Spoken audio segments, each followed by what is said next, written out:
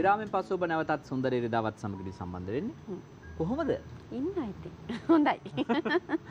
සාමාන්‍ය ඉවත් එක මට වැඩසටහන් කරන්න හම්බ වෙනවා හරි අඩුයි. හම්බෙන්නේ නැහැ නේ. හම්බෙන්නේ අඩුයි නෙමෙයි අපි හම්බෙන්නේ නැහැ. ශ- ශනිදා නෙමෙයිනේ. ඔව්. අපි ඉරිදා එන්නේ නැහැ ශනිදා එන්නේ. හොඳ වෙලාවට මේ ජයනිව මේ ගෙදර යවුවේ. ගෙදර ඇවිත්. ඔන්න ඔයාම ඉන්නනේ හැමදාම ඉරිදාට. ජයනිව අපි ගෙදර යවලා තමයි. මම මේ පොඩි කතාවක් කියන්නද? සමහරට මේ ඔබත් මේක අහලා ඇති.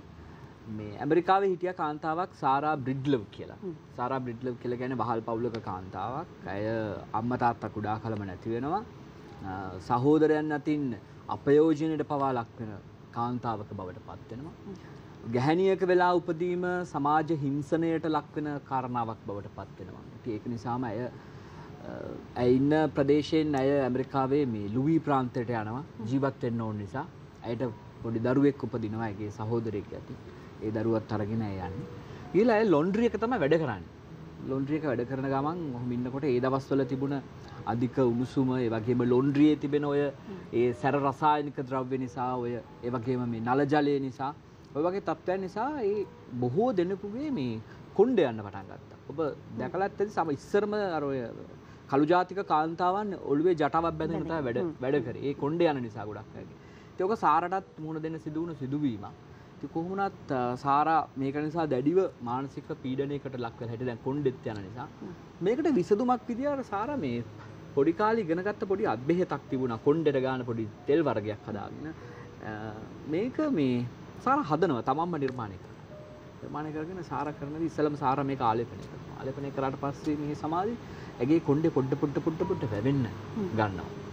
නමුත් ඇය ඒක තමන්ට විතරක් නෙමෙයි මේක තව කෙනෙක්ට දෙන්න ඕනේ කියලා හිතලා මේක බෝතල් වලට දාලා නිෂ්පාදනය කරලා ඇය විකුණන්න උත්සාහ කරනවා. කළු ජාතික කාන්තාවක් නේ මිනිස්සු ඉක්මනින් ප්‍රතික්ෂේප කරනවා ඇය. නමුත් දිවාරය නොබලා අවුවේ වැස්සේ ඉඳමින් පාරවල් වල පොඩි පොඩි මේ සලුපිලි වල ඉඳගෙන මේක කොහොමෙන් හරි මිනිස්සු අතරට සමාජය අතරට සාර මේක යවනවා. ඔහොම ඔහොම ඔහොම කාලයක් ගිහිල්ලා මේ අපි ඇමරිකාවේ හඳුන්වනවා ඒව අදටත් බොහොම ගෞරවයෙන් යුතුව හඳුන්වන නමක් තමයි මැඩම් සිජේ වෝක කියලා කියන්නේ. ඇමරිකාවේ පළවෙනි ප්‍රකෝටිපති ව්‍යවසායකවරිය බවට පත් වෙනවා. ඇය ගිලිහුණු කෙස්රොදකින් බිහිවුණ කාන්තාවක් බවට පත් වෙනවා. ඉතින් මේ ගිලිහුණු දේවල් වලින් ජීවිතේ ගොඩනගා ගන්න කොයිතරම් මිනිස්සු මේ සමාජය තුළ ඉන්නවද? සමහර දේවල් අපි දන්නෙත් නෑ අපෙන් මගේ හැරලා යනවා. නමුත් ගැහණිය කියලා කියන්නේ කාන්තාව කියලා කියන්නේ ගොඩක් වෙලාවට ව්‍යවසායික ක්ෂේත්‍රය අපි ගත්තොත් එහෙම සමහර අවස්ථාවන් වලදී අපි දන්න දේ තමයි මේක නිර්ලෝභීව කියන්න සිදුවන දෙයක් මේ මේ පිරිමින්ට වැඩිය සමාජය ඇතුලේ කාන්තාව ව්‍යවසායකත්වය ඇතුලේ හරි ඉක්මනින් ඉදිරියට යනවා. මොකද ඇයට හිත හදවතේ මොකද්දෝ මන් දන්නේ ශක්තියක් ධෛර්යයක් ගැබ් වෙලා තියෙනවා. ඒ ශක්තිය අපිට තියෙනවා නේද? එහෙම. අ, සහ එහෙම දැන් ඔය ඔයා කිව්වා වගේ අපි විදේශිකයෝ ගැන ගොඩාක් කතා කරනවානේ. හැබැයි අපේ ලංකාවෙත් ඉන්න එවැනි දක්ෂ සහ එවැනි ධෛර්යවන්ත කාන්තාවන් බොහෝ පිරිසක් ඉන්නවා. අ, ඒ විදිහට ජීවිතයේ ජයගත්තු අ, ජීවිතය අඩියෙන් අඩි ඉස්සරහට ඇවිල්ලා තවත් බොහෝ දුර යන්න ඉන්න කෙනෙක් අපි අද දවසේ අපේ කතා බහට එකතු කරගන්නවා. ඔය ඔය උදාහරණ අපේ ජීවිතවලටත් එකතු කරගන්න ඒ තුලිනුත් ඔබට අත්දැකීම් ලබා ගන්න පුළුවන්කමක් ලැබෙනවා. අපි බොහොම ගෞරවයෙන් පිළිගන්නවා අද අපේ විශේෂාංගය වෙනුවෙන් හඳුන් විලාස් සෑන් රෙස්ටෝරන්ට් ආයතනයේ විධායක අධ්‍යක්ෂිකා ඒ වගේම එලෙක්සි සිලෝන් ප්‍රයිවට් ලිමිටඩ් ආයතනයේ සමනීර මාතෘතුමිය නයෝමී හඳුන්නෙත්ති මහත්මිය. ආයිබෝවන් සුබදෑසන. අයිබෝන් සුද සුබෝදේශන. කොහොමද කාලය හොඳයි නේද මේ දවස්වල ටිකක් වැඩ අධිකයි කියලා කිව්වා. අපේ වැඩසටහනේ අපේ තියෙන ආකෘතියත් එක්ක නේද රංජ අපිට ළමා කාලයට යන්න වෙනවා. අපි මතක් කරමු කොහොමද ඔබේ ළමා කාලය ඇති වුණේ සහ පටන් ගැනීමට අපිට ඒ කාලෙට යන්න වෙනවද නේද? කොහොමද කාලය ළමා කාලය? ළමා කාලේ ඇත්තටම සුන්දර ළමා කාලයක් තිබ්බා. මමයි අම්මයි තාත්තයි අයියයි නංගි. ඇතර මගේ අම්මා දෙමළ තාත්තා සිංහල. ඉතින් අම්මි ආ, ජැෆ්නා වලින් ඇවිල්ලා කොළඹ තාත්තිව හම්බෙලා මැරි කරලා ඊට පස්සේ අයියා අයියා ඊට පස්සේ මම නංගි මේ අපි දකිනවා නේද පුංචි කාලේ? ඒ මගේ මං හිතනවා පළවෙනි බර්ත්ඩේ එක. ආ. අ, ඉතින් අ, සුන්දර ළමා කාලයක් තිබුණා මොකද මට මතකට යන්න පුළුවන් මගේ ළමා කාලේ බැලුවොත් අපි මේ අපි තුන් දෙනා යම්මයි හ්ම්. අ, ඉතින් අ, අම්මි ඇත්තටම නැහැ අම්මි නැති වුණා අ, ඒ කියන්නේ අ, කුඩා කාලේ ගත්තොත් අ, මගේ අ, අම්මයි තාත්තයිත් එක්ක හරිම සුන්දරයි කියන්නේ. තාත්ති හැමදාම මාව දැක්කේ අර අ, ගොඩක් ඉස්සරහට යන්න පුළුවන් දක්ෂයි. දැන් රිපෝට් කාඩ් එකේ උනත් මම හැමදාම බලන්නේ අර ස්ටේටස් කොහොමද ඒ අර තාත්තිව හැපි කරන්න මං හැමදිස්සම ඒ ඒ ටාගට් එකට තමයි මම දිව්වේ. ඒ වගේම ඉස්කෝලේ කාලේ ස්පෝර්ට්ස් කරා. ඉංග්ලිෂ් ඩේ මේ ඇක්ටිවිටීස් වලට සහභාගී වුණා. ගොඩක් අ, මේ ඉස්කෝලේ ප්‍රිෆෙක්ට් කෙනෙක්. ලින්සේ බාලිකා මං ඉස්සෙල්ලම ගියේ ඊට පස්සේ මං O levels වලින් පස්සේ මං සයන්ස් ස්ට්‍රීම් එක කරන්න මං සෙන්ට් පෝල්ස් මිරාගිරියට ගියා ඉතින් අ, අවුරුදු ඇතරම පහලක් විතර වෙදි අම්මිට කැන්සර් එකක් හැදුණා. ඉතින් අම්මි තාත්ති දෙන්නම අ, ගෙදර නැහැ ගොඩක් වෙලාට. ඉතින් ආච්චිත් එක්ක මං ආච්චි මමයි අ, අයියයි නංගි අපි ටික ගෙදර. ඉතින් අ, ඒ වගේ අ, පහළවෙන් පස්සේ ඇත්තටම මාර කැනෙ ගොඩක් දුෂ්කර ජීවිතයක් ගත කර අවුරුදු 19ක් විතර වෙනකන් අමි නැති වුණේ මට 19 දී. ඉතින් ඒ කාලේ ගොඩක් අමාරුයි. ඒ සාරා, මම හැරෙන්න. මෙහෙම ප්‍රශ්නයක් අහන්නම් ඔබ දැන් මේ ඔබ සාරා කියලා sorry, කිව්වේ වැරදිද? සමා වෙන්න මේ එවැනි- කෙනෙක් ගැන කතා කරන්නේ මම. සාරා සාරව තාම ඔළුවේ මවාගෙන ඉන්නේ නමුත් මම මේ අපි මේ කතාබහ ඇතුළතුරේ සමහර විට ඔබට දැනේවි නයෝමි කියන්නෙත් සාර කෙනෙක් සාර වගේ ඉදිරියට යන කෙනෙක් නයෝමි මේ ඇත්තටම ම්, දැන් ඔබත් ඔබ විවාහකයි ඔව්. ඔබට දරුවෝ දෙනෙක් දෙදෙනෙක් ඉන්නවා. හරි. දැන් මේ අපි කියනවනේ මවකගේ හදවත තුල උපදින කරුණාව, දයාව මේ ලෝකේ කොහේවත් තැනක අපිට හොයාගන්න පුළුවන් කමක් නැහැ කියලා. දැන් ඔබත් මවක්. ඒතර ඔබට මවකගේ හැඟීම්, දැනීම් ඔබට හොඳටම දැනෙනවා. එතකොට අද නයෝමිට කොහොමද දැනෙන්නේ? තමන්ගේ අම්මව. අද වන විට දැනෙන විදිය. ඇත්තටම මේ ඒ අම්ම කෑගහපු ඒවා ගුටිකාපු ඒවා. එතකොට මේ අම්ම කියපු දේවල් අපේ ජීවිතය ගොඩනගා ගන්න මේ දේවල් කරන්න මේ දේවල් කරන්න. දැන් අම්ම කෙනෙක් වශයෙන් ඇත්තට මං ඒ දේවල් විඳිනවා. ඒ ඒ අත්දැකීම් ඇත්තටම මම දකින. දැන් මගේ දුවල දුවල දෙන්න ලොකු එක්කෙනාට 18යි පොඩි එක්කෙනාට 12යි දැන් ලොකු එක්කෙනා මේ යුනිවර්සිටි එකට යන්න දැන් අ, ලෑස්ති වෙනවා. ලෑස්ති වෙද්දී අ, අර අම්ම කියපු දේවල් මෙහෙම ජීවත් වෙන්න මෙහෙම කරන්න මෙහෙම කරන්න. එතු ළමයි අ, දැන් මං හිතන අපි ඒ කාලේ නම් ගුටි කෑව අම්මගෙන් දැන් ගහන්න බෑ ඒක වෙනමම දැන් මානසිකත්වයක් ළමයින්ට තියෙන්නේ. ඉතින් අ, දැන් ඒ කියන දේවල් මං හිතන්නේ අම්මගෙන් ඒ මට ආපු දේවල් මත මම ළමයින්ටත් කියන්නේ. දැන් මං හැබැයි මතක් කරනවා පුතේ මේ ආච්චි ඕම මට කතා කරේ නෑ හොඳින් මුටි කාලා තමයි අපි ඉගෙන ගත්තේ. ඉතින් ඒ වගේ දේවල් කියන්නේ ඉතින් ඇත්තටම මේ අ, අම්මගෙන් ඒ දාපු දේවල් තාම දැන් ළමයින්ට මේවා වෙනවා. ඉතින් අර ඒ කාලේ අම්මත් එක්ක තිබ්බ තරහ මේක කරන්න එපා අරක කරන්න එපා ගහපු ඒවා දැන් මට හිතෙනවා අම්මා හරි කියලා.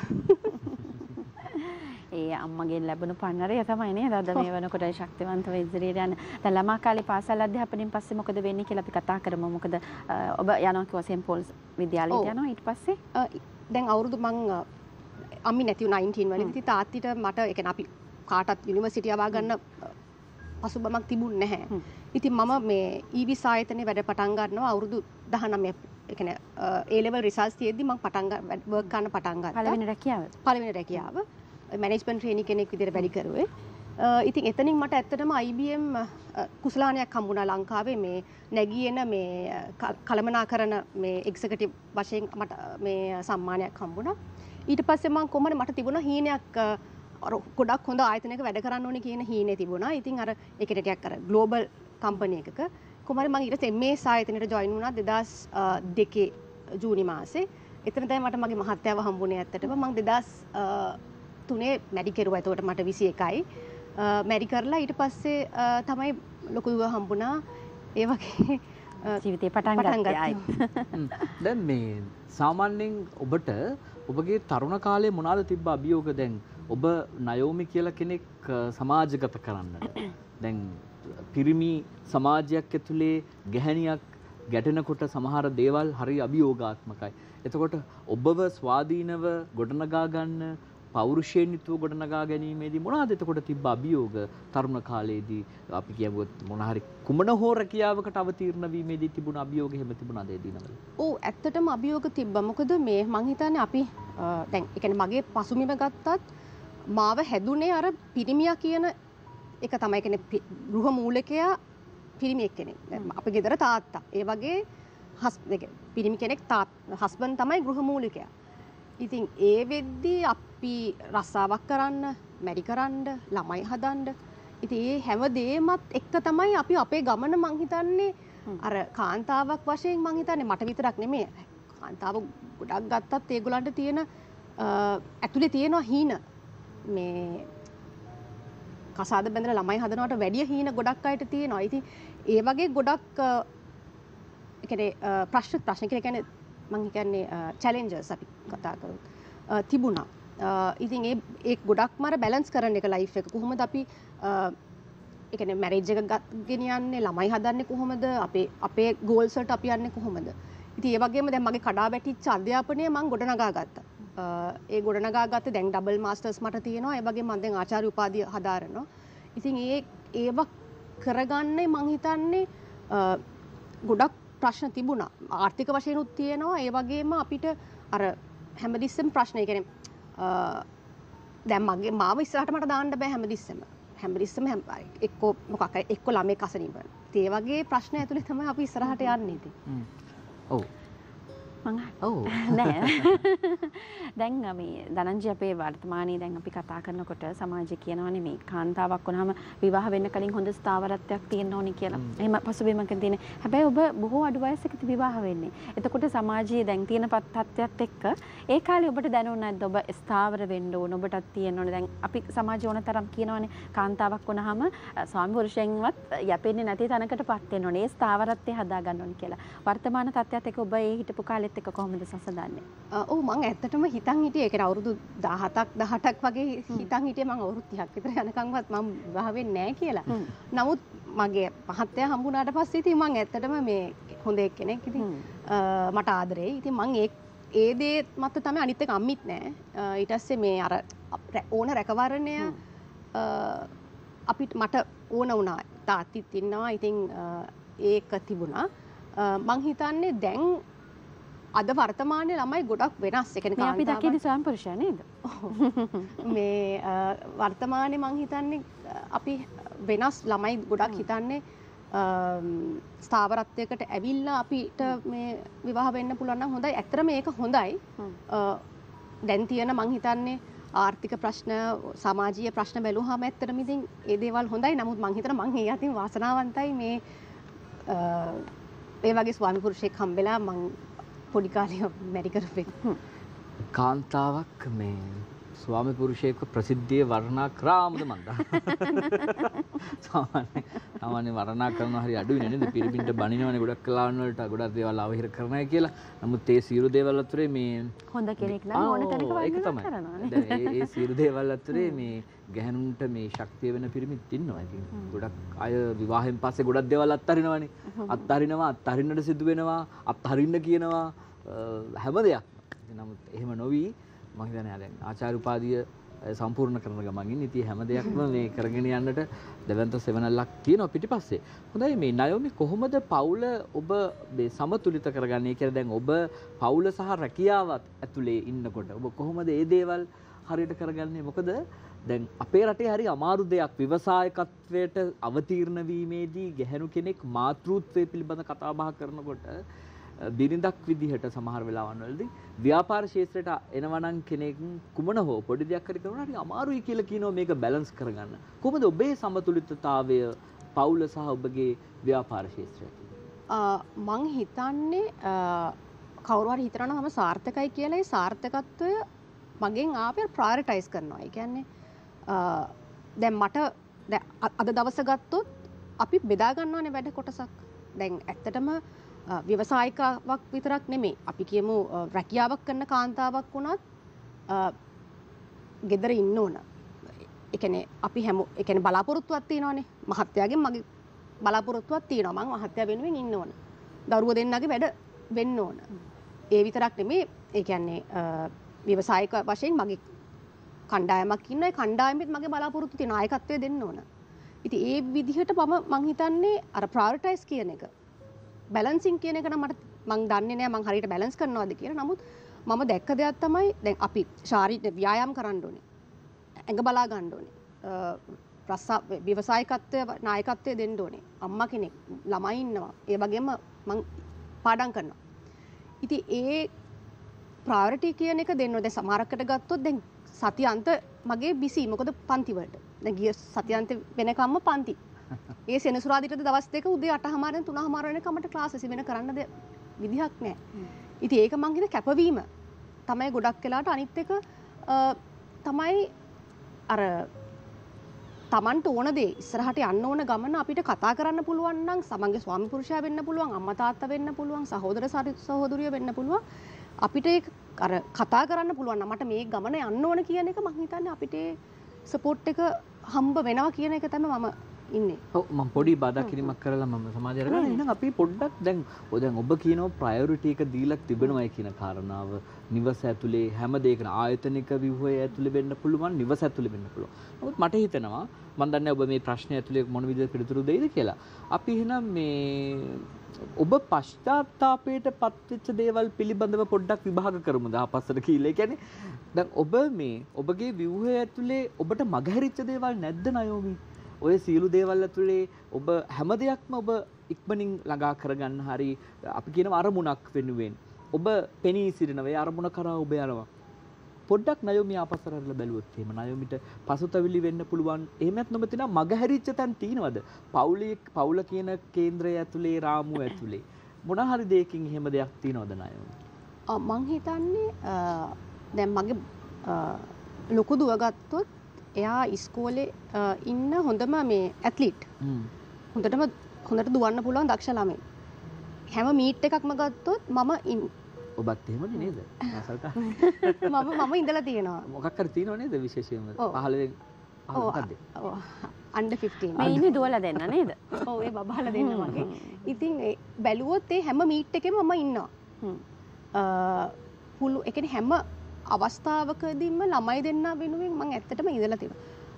පසු තැවිල්ලක් වුණා නම් ඇත්තටම මං හිතන්නේ සමහරක් දැන් මගේ තාත්ති නැති වුණා අවුරුදු 2014 තාත්තා නැති වුණේ අ, පසු තැවිල්ලක් වුණා නම් සමහරක් විට හිතෙනවා චුට්ටක් කාලේ තාත්තත් එක්ක මීට වැඩිය ගත කරා නම් හොඳයි කියන එක. මොකද අම්මි පොඩි කාලේනේ ම- එහෙම ලොකු පසු තැවිල්ලක් මට ලොකුවට ඔළුවට එන්නේ නැහැ.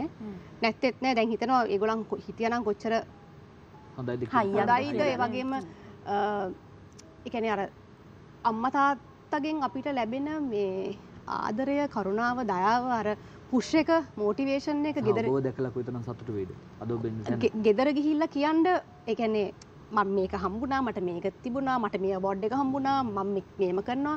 කියන්ඩ දැන් එක අර ඇත්තටම සතුට වෙන්න කවුරුත් නෑ කියන එක තමයි මට තියෙනේ පසු තැවිල්ල මට තියෙනවා. ඒ අරෙන්ට බාලක් දෙන්නගේ වැඩ ගැන මට පසු තැවිල්ලක් අ, ඇත්තටම නැහැ. මොකද මං අම්ම කෙනෙක් වශයෙන් මං ඉන්නවා ව්‍යවසායිකත්වය පැත්තෙන් මට හිතනවා අ, තව ගොඩක් වැඩ මහන්සි වෙන්න පුළුවන් දැන් කොහම ලොකු එක්කෙන යුනිවර්සිටි යන හින්දා මට දැන් කාලේ චුට්ටක් එනවා. ඉතින් ඒ හින්දා තමයි මම Elixa Ceylon private limited cofounder මම සමනිර්මාතෘ ඒ බිස්නස් එක පටන් ගත්තේ මං ගිය අවුරුද්දේ. ඉතින් අ, ඉස්සරහට මහන්සි වෙලා වැඩ කරන්න තමයි ප්ලෑන් එක. වැඩ කරන්නේ අපිටම තමයි ද- ධනංජය දැන් අ, ඔබ ව්‍යවසායිකව බවට පත් වෙනවා. දෙදස් පහළව වශරේ වසරේ තමයි ආරම්භ වෙන්නේ නේද? එතකොට දැන් හඳුන් වෙලා සැන් රෙස්ටරන්ට් ආරම්භ වෙනවා. එතකොට මේ? ආදී- ඔව් වෙනස් වෙලාද ඒකනේ කොල්ඩ කපලා. කෙනාම තමයි නේද? මේ සම්මානවලට පාත්‍ර වෙනවා. ඇයි දැන් ඔබ රැකියාවක් කරනවා ඔබ රැකියාව කිහිපයක්ම කරනවා ඒ අතරතුරේ? ව්‍යවසායිකාවක් බවට පත් වෙන්නට මොකක්ද ඒ අදහස ඔබට ආවේ කොහොමද? විවාහයෙන් පස්සේ මේ හැමදේම ඔබට ලැබෙන්නේ කොහොමද ඒ අවස්ථාව උදා වෙන්නේ මම බැලුවොත් දෙදස් දා හතර වෙනකං මම රැකියාවක් කරා. මංකො දෙදස් දාහතරි තාත්ති නැති වුණා. ඉතිං ඇත්තටම අ, පොඩි කාලින්දලම්ම තිබුණා මේ අර තාත්තගෙන් අප පන්නරේ මං කියපු අර දක්ෂයි දක්ෂයි දක්ෂයිති මටත් හිතුණා ඇයි මම ව්‍යවසායිකාවක් වශයෙන් එතෝට මොකද මට ඇත්තම රැකියාවක් කරද්දී දැන් වෙනසක් තේරෙන්නේ අපි ඇත්තරම් මගේ කාලය මට මගේ අතේ තියෙන්නේ. මං අට පහ වැඩක්ට යන්න ඕන නැතින එක තියෙනවා. ඉතිං අ, ඒ වගේ අ, මං හිතුවා කැනෙ විවසායකාවක් වුණොත් මට බබාලගේ වැඩත් කරගන්න පුළුවන්. මටත් ඕන ටාගට් එකට මට යන්න පුළුවන් කියන ඔළුවේ තිබිච්ච මේ එකයි. ඒ වගේම අර අ, ටිකක් අපි අ, වයසට යද්දී ඒ වගේම රැකියාවත් ඉස්සරහට යද්දී මං හිතනේ වෙනස්කම් ඇතුළේ එනවා. එකනේ මට මේක කරන්න පුළුවන් අ, ඒ වගේම අර අපි මෝටිවේෂන් කාන් තව කාන්තාවක්ට දැන් මේ වගේ ප්‍රෝග්‍රෑම් එකකට ඇවිල්ලා කතා කරන්න පුළුවන් ලෙවල් එකට මං හිතන්නේ ව්‍යවසායිකාවක් හින්දා තමයි මට ඒක කරන්න පුළුවන් කියන ඒ අයිඩියා එක මං හිතන්නේ මට ගොඩක් තිබුණා. ඒ හින්දා වෙන්නේ නැති. කොහොමද ඔබ- ඔබව ඔතනින් මේ අත්දැකීම් වලින් ඔබව පරිණත කළේ? ඔබ ඔතනට එන්න දැන් ඔබේම කියලා ව්‍යාපාරයක් පටන් ගන්න ඔබව අත්දැකීම් වලින් පරිණත කරේ මොන විදිහටද? ඔබට මතක නැත්තම් මම පො- පොඩ්ඩක් මතක් කරන්න. ඒ කියන්නේ මේ කොහොම දැන් ඔබ ගෝලීය වෙළඳ පොලේ අපි ගත්තොත් එහෙම මේ ආයතන කිහිපයකම ඔබ අ, මීට කලින් සේවය කරලා තියෙනවා විශේෂයෙන්ම අ, කවුරු කතා බහ කරපු ප්‍රසිද්ධ ආයතන කිහිපයකම ඔබ පළපුරුද්දක් අ, තිබෙනවා ඔබට වසර 15ක විතර වගේ කාල සීමාවක් ඇතුලේ. කොහොමද මේ අත්දැකීම් ඔබව කොහොමද ශක්තිමත් කරේ? ඒ අයගෙන් ලැබිච්ච දේවල් මොන වගේද? ඕ මොකද මම දැන් ඊවිස් ආයතනය ගත්තත් අ, ඒ කියන්නේ ඊවිස් ආයතනය තොර එම්මේ ආයතන එක- ඒ වගේම මේ අපේ ගුවන් සමාගම ඒ එකන්නේ ගෝලීය මට්ටමෙන් හැමදිස්සම මහිතන් තරගකාරිත්වයක් තියෙන ආයතන. ඉතින් ඒකෙන් ලැබිච්ච එක්ස්පීරියන්ස එක එකෙන අපි අ, දැන් එමස් ගත්තොත් සෑහෙන්න ගලෝබල් මේ කම්පන එකක් මනිෆක්චරිං ස්ටන්ඩ් ගොඩක් උසයි උසස්. ඉතිං අ, ඒ වගේ ගත්තහම අපිට අපි අපි ලංකාව කියලා හිතන්න බෑ. අපිත් එක් ගෝලිය මේ කාන්තාවක් පිරිමි කියලා නෑ. අපි දුවන්න ඕනේ රේස් එකට. ඉති ඒක ලැබිච්ච ගොඩක් එක්ස්පීරියන්ස එක මට අ, උදව්ක වුණා. ඒ වගේම එයාලයින්න එක මට අමන් අවුරුදු දෙකක් හිටිය යාලයින්න එක. ඒකෙනුත් මට ලැබිච්ච පන්නරය සෑහෙන්න මේ අ, මට උදව්ුණා මොකද ම- ඒ හොස්පිටල්ට ඉන්ඩස්ට්‍රිය එකේ මං හිටියේ. ඉතින් මගේ බිස්නස් එකට ගොඩක් පන්නරයක් වුණා. ඒක ලැබිච්ච අ, අර ආසියාවේම ඔඩ්වටයිසිං බලන්න එහෙම ඒ කට උදවුණා හරි. අපි තවත් අ, ඇය පිළිබඳව සහ ඇගේ ජීවිතය අත්දැකීම් ඔබත් එක්ක බෙදා හදා ගන්න සූදානම්. හැබැයි විරාමයක් ලබාගෙන නේද? අපි විරාමයක් ලබාගෙන ඉක්මනින් මුණ ගැහෙනවා රැඳිලා ඉන්න අපි ඉක්මනින් ඔබත් එක්ක සම්බන්ධ වෙනවා.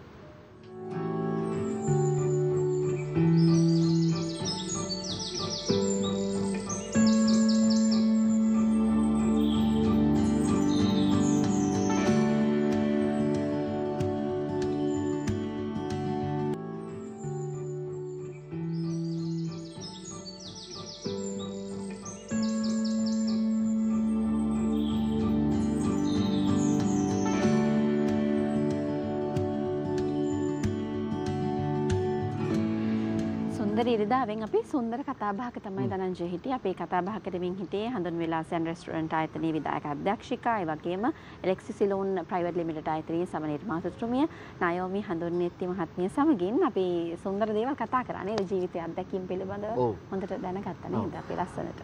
නයමගෙන් දැන් අර කිවත් වගේ දැන් කැමති දැනගන්න දැන් ඔබ මේ වර්තමානයේ කාන්තා විවසායකත්වය උදෙසා පෙනී සිටින්නට කැමති අය වෙනුවෙන් නයෝමි කොහොමද තමන්ගේ මේ හඬ අවදි කරන්න?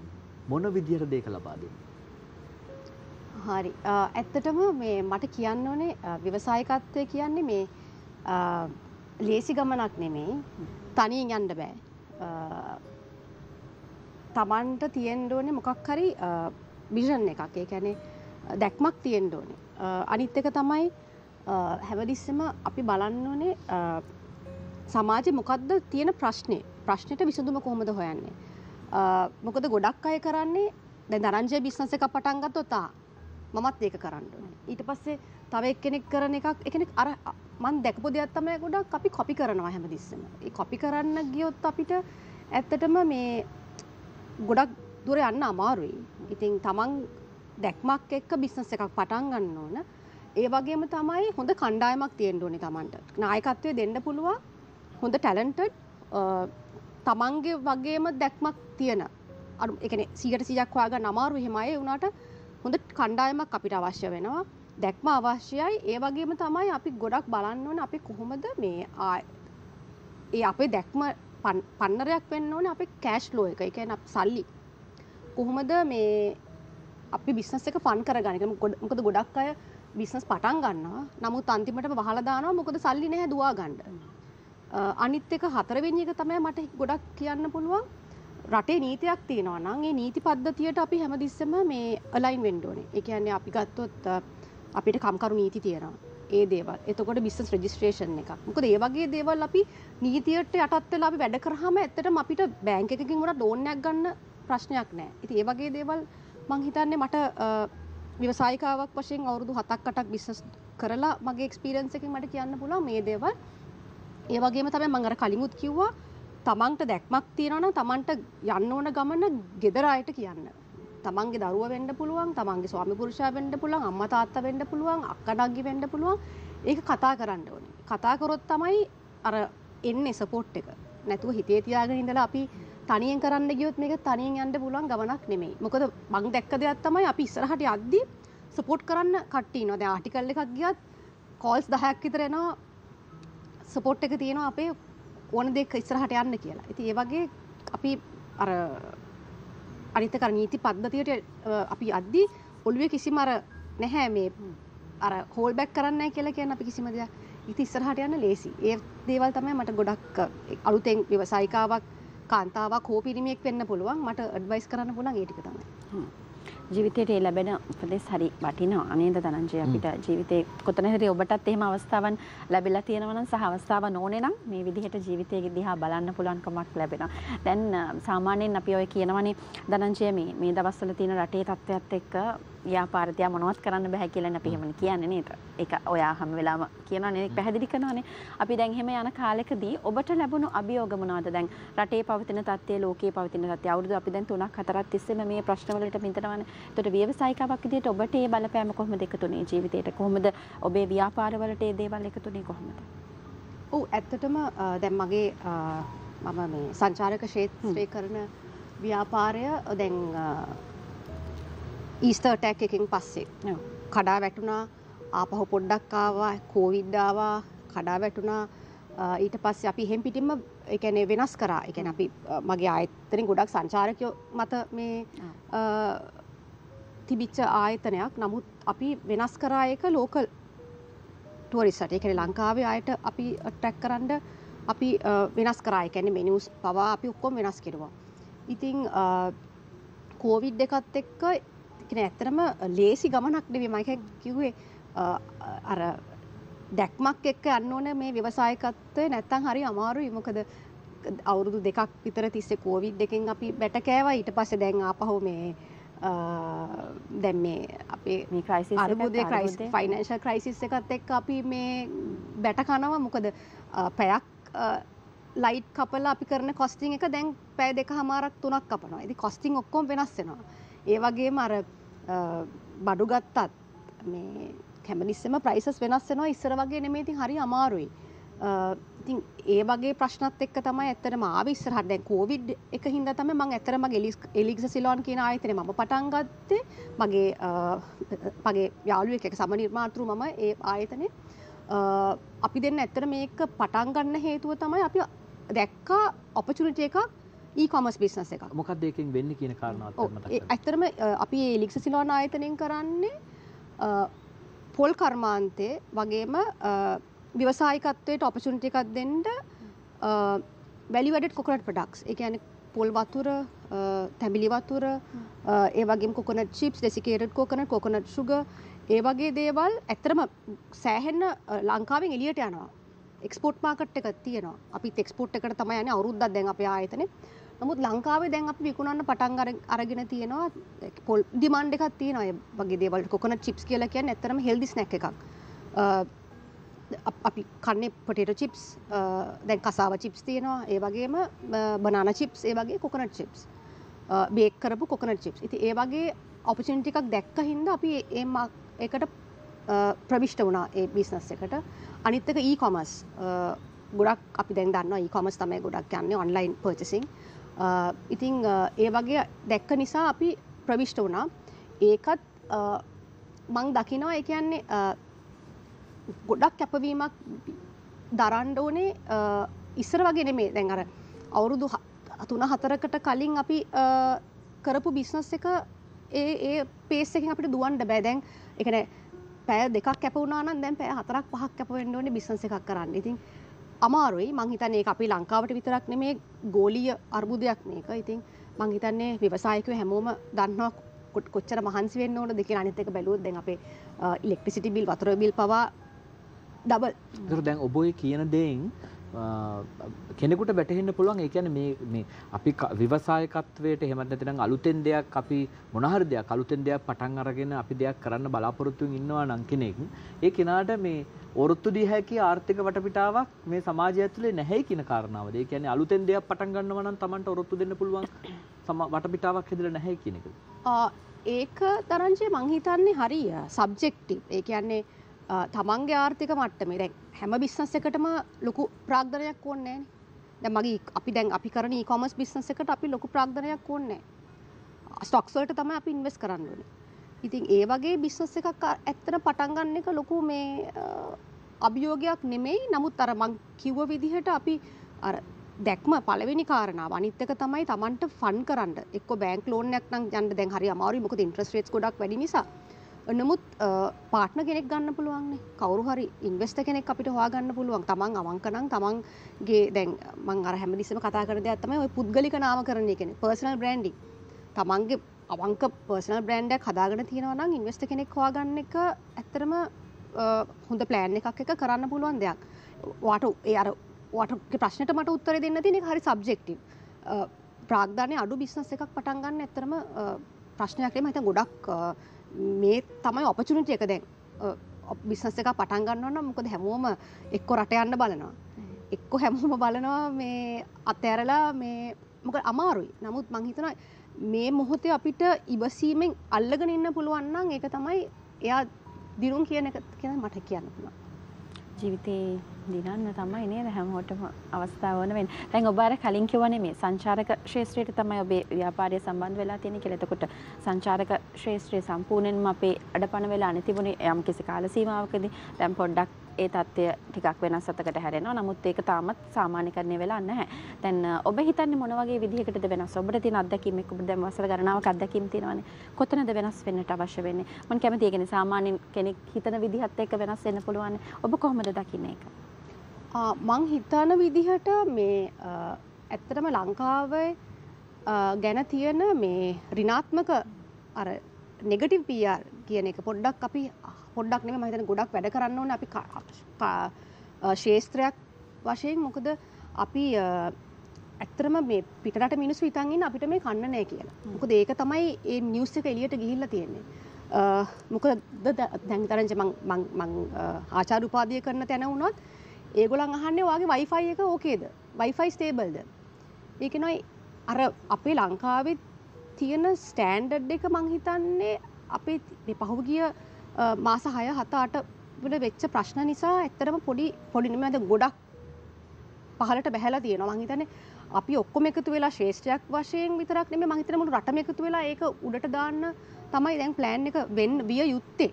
මේ නැතුව නැත්තම් අපිට ඇත්තටම මේ අ, නැත්තම් පෙට්‍රල් නෑ කියනවා පව නෑ කියන ලෝකේ හැමතැනම ප්‍රශ්න තියෙනවා. නමුත් මං හිතන්නේ අපි මේ සුන්දර රටක් ලස්සන රටක් මේ අපි ඒ රටට දෙ- දිය යුතු තැන මං හිතන්න අපි දෙන්න ඕන කියන එක තමයි මම හිතන්නේ සංචාරක කර්මාන්තය. දැන් මොක නැත්තම් අපිට අ, දැන් ගත්තොත් මාලදිවයින ගත්තත් තායිලන්තේ ගත්තත් වියට්නාමි ගත්තත් අපිට තරග කරන්න අමාරුයි මේ විදිහට ඉස්සරහට ගියොත්.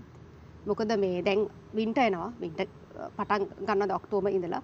අ, ඉතින් ක- තරග කරන්න අමාරුයි. මොකද අ, සංචාරකයෝ ට්‍රවල් ප්ලෑන්ස් හදලා ඉවරයි. ඉතින් අපි දැන් අ, ඉස්සරහට ආවේ නැත්තම් ඇත්තටම අපිට අමාරු වෙනවා නැත්තම් හ්ම්. දැන් මේ නයෝමි දැන් දැන් අපි කෙනෙක් මෙහෙම ගත්තොත් එහෙම දැන් ගොඩක් වෙලාවලට රජය සහ පුද්ගලිකංශ දෙක අපි ගත්තොත් එහෙම රාජ්‍ය ආයතනයි පුද්ගලිකංශයි කොහොමද කාන්තා ව්‍යවසායකත්වය වෙනුවෙන් මොන විදිහද ක්‍රමවේදයක්ද අනුගමනය කළ යුත්තේ? මොන විදිහටද ඇයට සහයෝගය දිය යුතුද? රජයේ මැදිහත් වීම වෙනයි. මං හිතන්නේ කුඩා හා මධ්‍ය පරිමාණ ව්‍යවසායකත්වයන් වෙනුවෙන්. එතකොට පුද්ගලිකංශත් ඊට වෙනස් විදිහකට සහයෝගයක් දක්වනවා. ගොඩක් වෙලාවට කාන්තාවන්ට ඉස්සරහට එන්නට අවස්ථාවන් දෙනවා සමහර අවස්ථාවන් වලදී. ඒතර කොහොමද මේ අංශ දෙක එකට අපි සම්බන්ධ කරගෙන කොහොමද හරියට හරි දැක්මක් එළියට දා යුත්තේ මේ වගේ වෙලාවක? ඔබට හැඟෙන විදිහට. ඔව් අ, මං හිතන්නේ ඔය කාන්තා ව්‍යවසායිකත්වය ඔය බල ගැන්වීම කියලා කත්තා කරනවා විතරයි ගොඩක් වෙලාවට අපි. ඇත්තට මේවා එක්සිකියුෂන් කියන්නේ අපිට එකන මේක ඇත්තටම ගොඩක් ලේසි දෙයක් නම් ගොඩක් කාන්තාව ඉන්නවානේ ව්‍යවසායකත්වය නැහැ ඇත්තටම පැහැදිලි. එකන අමාරුයි අමාරු කෙනෙ අපි ඒ කාන්තාවක් අපි විරාමට ගිවිලෙත් ඔක් කතා කතා කාන්තාව නැත්තේ කියලා. කාන්තාව නැත්ත කියලා ඒක තමයි. ඉතින් අපි අර කතා කරන්නවා ගොඩක් ඒවා. නමුත් බැංකුවට ගියත් ලෝන් එකක් ගන්න මං කාන්තා ව්‍යවසායිකාවක් කියලා මට අ, ආ මේ එන්න එන්න මේ ඒ කියන්නේ කොලැටරල් එකක් නැතුව. ඒ කියන්නේ මොකද්ද? අපි හැමදෙස්සම ඇසෙට් එකක් හරි මොකක් හරි තියලානේ ගන්න ඕනේ. නැතුව මේ ලෝන් එකක් දෙන්නේ ආ ඔයා කාන්තා ව්‍යවසායකක්නේ. ඔයාට මේ එනම් පිරිමයට දෙන්නේ 120යි. ඔයාට මං 110ක් දෙන්න. එහෙම නැහැ. එහෙම වෙන්නේ නැහැ. ඉතින් අ, මං හිතන්නේ ඉස්සරහට අපිට යන්න ඕනේ නම් අ, ගොඩක් අ, සහ- සහන නෙමේ මම කියන්නේ. මොකද අපිට ඇත්තට මේක ඒ අවතීර්ණ වෙන්න ශ්‍රේෂ්ඨවලට අවතීර්ණ වෙන්න අවශ්‍ය අර බේසික් ටික. ඒක ෆන්ඩිං වෙන්න පුළුවන්. එතකොට දැන් දැන් අපි කතා කරා ඔය work life balance. අම්මා කෙනෙක් වෙන්න පුළුවන් ළමයි ඉන්න අමාරුයි. දැන් මට ඊයේ හම්බුණා එක කාන්තාවක්. එයත් කාන්තා ව්‍යවසායිකාවක් උදේ දෙකට නැගිටින්නේ. උදේ දෙක පහ යා හැරලා යාගේ බිස්නස් එක වෙනුවෙන් එයා කමිට් කරා. ඉතින් ඒත් එයත් අම්මා කෙනෙක්. මේ මගේ වගේම ළමයි දෙන්නෙක්ගේ අම්මා කෙනෙක්. ඉතින් අ, මාර කෙන අර ම- ඒක ඇහුවහම මට හරිම ඉන්ස්පිරේෂනල්. ඉතින් මට කියන්න තියෙන රජය වුණත් පෞද්ගලික ආ- ආයතන වුණත් කාන්තාවන්ම ඉස්සරහට යවන්න ඇත්තටම අර අ, ගොඩක් අ, ඔය ෆන්ඩිං කියන පැත්ත. ලෝන් එකක් නෙමේ මම කියන්නේ ලෝන් එකක් වුණත් ප්‍රශ්නයක් නෑ අපිට ගෙවන්න දෙන්න ඉඩ ප්‍රමාණයක් අර එකන කාන්තාවක් කියලා අපිට විශේෂ සැලකීමක් කොහෙන්වත් මන්ද මම අවු- හතක් දැන් වසායිකාවක් වෙලා ඉන්නවා. මට එහෙම කිසිම ස්පෙෂල් එකක් මට හම්බෙලා නෑ ඉති පිරිමි අයත් එක්ක අපිත් තරඟකාරිත්වය යෙදෙනවා. ඉතින් ඒත් අර දරංජය කිව් වගේ අම්ම කෙනෙක් අ, බිරිඳක් ඉගෙන ගන්න හැමදේත් එක්කම අපි ඉතින් ඉස්සරහට යනවා. ගිවක් කරන්න බෑ. දැන් ඔබේ කතාපහ ඇතුළට කිව්ව අර උදාහරණ ගත්ත කාන්තාවගේ ඇය ළඟ තිබුණා උදේ පාන්දර නැගිරලා ඒ කරන කාර්යය නම් එතන තියෙන උද්- උද්‍යෝගිමත් බව. ඒතර කාන්තාවට ඒක තියෙනවා. එතකොට සමහර අය කියන මේ උද්‍යෝගිමත් බව තිබුණාට ගොඩක් වෙලාවට ගිලිහෙන දෙයක් තමයි චින්තනය කියන එක. ඔව්. එතකොට උද්‍යෝගිමත් බවයි චින්තනයයි කොහොමද චින්තනය කොහොමද අපි සකසා ගන්න ඕන නායොමි දැන් ඇත්තටම දැන් ඔබේ කතාව ඇතුළේ තව දෙයක් තිබුණේ තමයි ප්‍රාග්ධනය අවශ්‍යයි නමුත් ඔතනට සංකල්පයත් අවශ්‍යයි.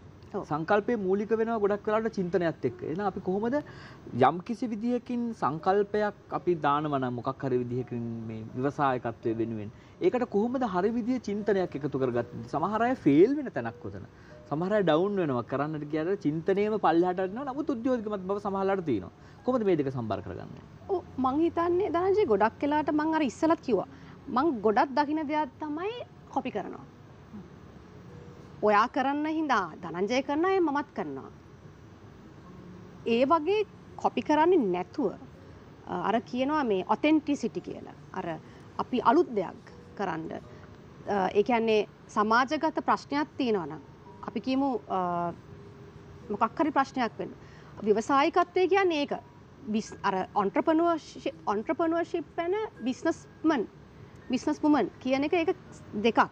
බිස්නස් එකන බිස්නස් එකක් කරනවා කියන්නේ අ- මොකක් හරි බයින්සලි මොනහරි කරන්න පුලන ඔන්ට්‍රපන කෙනෙක් නෙමේ ඔන්ට්‍රපනුශිප් කියල කියන්නේ සමාජයේ ප්‍රශ්නයක් තෝරගෙන අපි ඒ ප්‍රශ්නට කොහොමද විසඳපු දෙන්නේ? ඒත් එක්කම ඒ එයාගේ දැක්ම එකනේ එයාට තියෙන්ඩුවනේ විෂන් එකක්.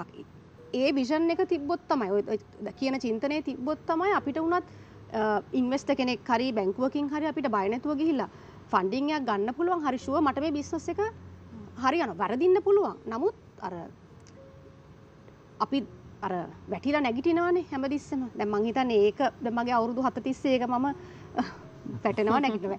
ඒ කියන්නේ ඉවරයක් නෑ. එපා වෙලා නැද්ද ඒ වගේ වෙලාවට අත්තරින්න ඕනේ කියලා අනේ මේ මේ වැඩක් ගොඩක් නෑ මේ- හිතන්නේ ඒක- දැන් ඇති කියලා. දැන් ඇති කියලා එහෙම හිතලා නැද්ද? ඉතින් මං හිතන්නේ මේ මට මං අතඇරියොත් ඒ කියන්නේ දැන් මම නායකත්වය දෙන ටීම් එකක් ඉන්නවානේ. පව්. ඒ පව් නෙමෙයි ඒ කියන්නේ ඒගොල්ලනුත් අර මගේ උද්‍යෝගය හින්දා මාත් එක්ක දුවනවා. මේ ඉතින් අර ඔබට චින්තනයක් තියෙනවා ඒකයි. ඉතින් අර මොකද ගොඩක් වෙලාට මං ඇත්තරම මේ ඒක නම් මගේ තියෙන ප්‍රශ්නයක් මොකද මං අර හැමතිස්සෙම අර ඉක්මන්ට යන්ඩ හදනවා ගමන ඒ ඉක්මන්ට අන්ඩ හදද්දී පොඩක් අර මගේ ස්පීඩ් එකට හැමෝම යන්නේ ඉතින් දැම්මන් ඒක තේරුම් අරගෙන පොඩ්ඩක් පස්සට වෙලා ඒ පොඩක් නායකත්වය දීලා ඉස්සරහට යනවා මේ මට හිතන විදිහට අර චින්තනය අ, අහපු ප්‍රශ්නයට හොඳම එක තමයි අපිට හොඳ මේ දැක්මකුයි ඉදිරි මේ ෆෝකස් එකක් තිබුණා නම් මං හිතන්නේ අපිට මේ ඉස්සරහට යන්න අ, පුළුවන්. ඉස්සරහට යන ගමනකදී දැන් ඔබ කාන්තාවක් එතකොට ඒ අසේ ඒ ඔස්සේ ගියාම ඔබ දියණියක් විදිහට ඉඳලා තියෙනවා ජීවිතය අත්දැකීම් ලැබලා තියෙනවා. ඊළඟට ඔබට මවගේ අභාවයෙන් හොඳ පන්නරයක් ලැබිලා තියෙනවා ඔබේ ජීවිතේට දැන් ඊළඟට ඔබ මවක් ගෘහණියක් බිරිඳක් මේ හැම කියන මේ අපි කියන හැම තරාතිරකම ඔබට කටයුතු කරන්න සහ ඔබට ජීවිතය අත්දැකීම් ලැබිලා තියෙනවා. කාන්තාවක් විදිහට අද වර්තමානයේ සමාජයේ ඔබ හිටපු කාලේ ඔබ ඔබේ තරුණ කාලෙත් එක්ක ඔබට දුවලා දෙන්නෙක් ඉන්න නිසා ඒක හොඳට දැනෙනවා ඇති. කොහොමද වෙනස් වෙන්න ඕන. සමාජගත වෙලා තියෙන කාන්තාවක් වුණාම සාමාන්‍යයෙන් කරන්න බෑ. දැන් ඇති ඔතනින් එහාට වැඩක් නෑ කරන්න බෑ කියන එහෙම මතයක් නැපේ සමාජයේ තියෙන්නේ. කොහොමද වෙනස් වෙන්න ඕන මොන වගේ තැනද? මං හිතන්නේ හැබැයි ඒ සංකල්පය දැන් පොඩ්ඩක් වෙනස් වෙලා තියෙනවා. මොකද මගේ දුවල දෙන්නටත් මම හැමතිස්සම කියන්නේ ඕගලා ඉගෙන ගන්න ඕනේ උපරිමෙන්ම. නමුත් එකනේ හම්බ කරන්න ඕනේ. තමන් තමන්ගේ අර මොකක්ද කියන්නේ තමන්ගේ ෆ්‍රීඩම් එක හදාගෙන තමන් ඉන්කම් එකක් හදාගන්න උනාට පස්සේ මැඩි කරන සෙටල් ඩවන් වෙන්න කියනවා මිසක් දැන් මං හිතන්නේ ඉස්සර වගේ දැන් අපි එක ළමයක් ඒ දහටත් දහනමයක් වුණාම මැරි කරලා දෙන්න මේ ප්ලෑන් එක තියෙන්නේ. ඉතින් මං හිතන්නේ මේ දේවල් නම් දැන් ගොඩක් වෙනස් වෙලා වෙනස් වේගනත් එනවා. ඉතින් මං හිතන්නේ මේ ඉස්සරහට ලොකු ලංකාව ඇතුළේ වුණත් මං හිතන්නේ මේ වෙනසක් අපි දකි. ඉතිං දැ මම මන්දන්න එක හරිද වැරදිද කිය නමුත් මං මගේ දරුව දෙන්නට කියන්නේ උපරිමෙන් ඉගෙන ගන්න. ඉගෙනගෙන ඉස්සරහට යන්න. මොකද නැත්තං ඇත්තරම ඉතින් අමාරුයි. එකනේ එක්කෙනෙ දැන් මංහිතන අද තියෙන ආර්ථිකත් එක්ක මංහිතන එක්කෙනෙක් විතරක් හම්බ කරලා ගෙදර බලාගන්න ඇතරම අමාරු ඉතින් දෙන්න එකතු වෙලා හස්බරන් වයිෆ් එකතු වෙලා මේ එකට මේ වැඩ කරන්න පුළුවන්නම් ඉතින් හොඳයි. හරි. හොඳයි මේ අපිට තව විනාඩි දෙකක විතර වගේ මේ කාලයක් තියෙන නයෝමි මම වෙන්න මෙහෙම දෙයක් අහන්න. නයෝමිට නයෝමි සතුටින් ඉන්නවද දැන් ජීවිතේ? නයෝමි ආපස්සට හැරිලා බලනකොට නයෝමිගේ සතුට රැඳිලා තියෙන තැන් මොනවාද සතුට වෙනුවෙන් නයෝමි කරන දේවල් මොනවාද මොන වගේ කාලයක්ද ඒ වෙනුවෙන් වැය කරන්නේ? ඔව් ඇත්තටම මේ සතුටුයි මං හිතන්නේ මට ලොකුම මේ සතුට තමයි දැන් ලොකු දුව හදාගත්තා. දැන් එයාට 18යි එයා යුනිවර්සිටි යනවා. මං හිතන්නේ ලොකු ඒක මට අචීව්මන්ට් එකක් අම්මා කෙනෙක් වශයෙන්. ඒ වගේම මගේ සතුට වෙනුවෙන් මං ඇත්තටම ජිම් යනවා. දවස් පහක් විතර. ඒක තමයි ඇත්තටම සතුට වෙනුවෙන් මං වෙනුවෙන් කැපකිරීමක් කරනවා නම් ඒක කරයින් ඒ වගේම මං අර පාඩම් කරන්න කැමති මගේ මාන හේතුව ගොඩක් කලාවලට අපි ගොඩක් දේවල් කරනවා. අපිට අපිව මගහැරෙනවා ඒක මංගට ඇතරම මර්කින් ගොඩ පිරිම ඇත්තව හන ප්‍රශ්නයක් ගැනුව ඇත්ත හන ප්‍රශ්න ඒ අර මං ඒ පැයයි කහමාරක් විතර මංගේ වියෝධන එක මං හිතන්නේ මට මානසික වශයෙන් නැත්තං හැමදිස්සමයි ෆෝන් එක එක්කෝ කක්හරි ප්‍රශ්නයක්නේ ඉති ඒ අර ඒ මං අර ඒක අර මානසිකත් නිදහසක් මට මේ ශාරිරික වශයෙන්ම මනසිං වුණත් මට ගොඩක් නිදහස් වෙනවා මං ඒ සතුට වෙනුවෙන් මං කරන්න ඒදේ තමයි. ඒ ඇරෙන් ඉතින් හස්බන් වෙල බාල දෙන්නත් දෙක කාලෙ ගත කරනවා. ඒකත් සතුටයි. හොදයි සම්මානීය ව්‍යවසායකවරියක් අපි සම්බන්ධ කරගත්තේ දෙදස් විසේක වර්ෂය ඇය. විශේෂයෙන්ම ලංකාවේ හොඳම ව්‍යවසායකවරියන් අතරින් පනස් දෙන අතරට තේරුණ මේ තැනැත්තියක බවට පත්වෙනවා හඳුන් විලාසේ විදායක අධ්‍යක්ෂක අපි නයෝමි හඳුන්වෙත්ති අපි අද දවසේ සම්බන්ධ කරගත්තේ ඇයගේ ජීවිතයේ රසමුසු තැන් පිළිබඳව කතා බහ කරා ව්‍යවසායකත්වයට විශේෂයෙන් අවතීර්ණ වන්නට ඉන්න කාන්තාවන්ට දිරිදීමක් වශයෙන් ඇය බොහෝ කරුණු කාරණා පිළිබඳව දැනුවත් කිරීමක් කරා ගොඩාක් ස්තුතියි මයමි සම්බන්ධ වුණාට. බොහෝ ස්තුතියි. අයිබෝන්. මේ නයමි කැමති සිින්දුවත් සිින්දුවත් තියෙනවානේ මම අදහස. අපි ඒ ලස්සන ගීතයත් බලන ගමන් විරාමයක් ලබාගෙන ඉක්මනින් මොන කැන සුන්දර ඉරිදාවෙන් පැඳලා ඉන්න අපි මේ ලස්සන ගීතය ප්‍රතිලන කරනවා.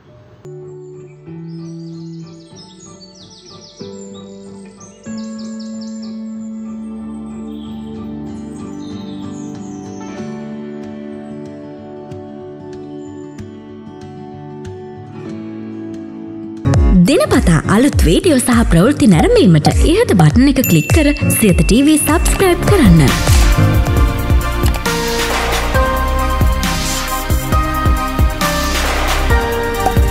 අලුත් වීඩියෝ ගැන මුලින්ම දැනගන්න මෙම සීනුව කලික් කරන්න.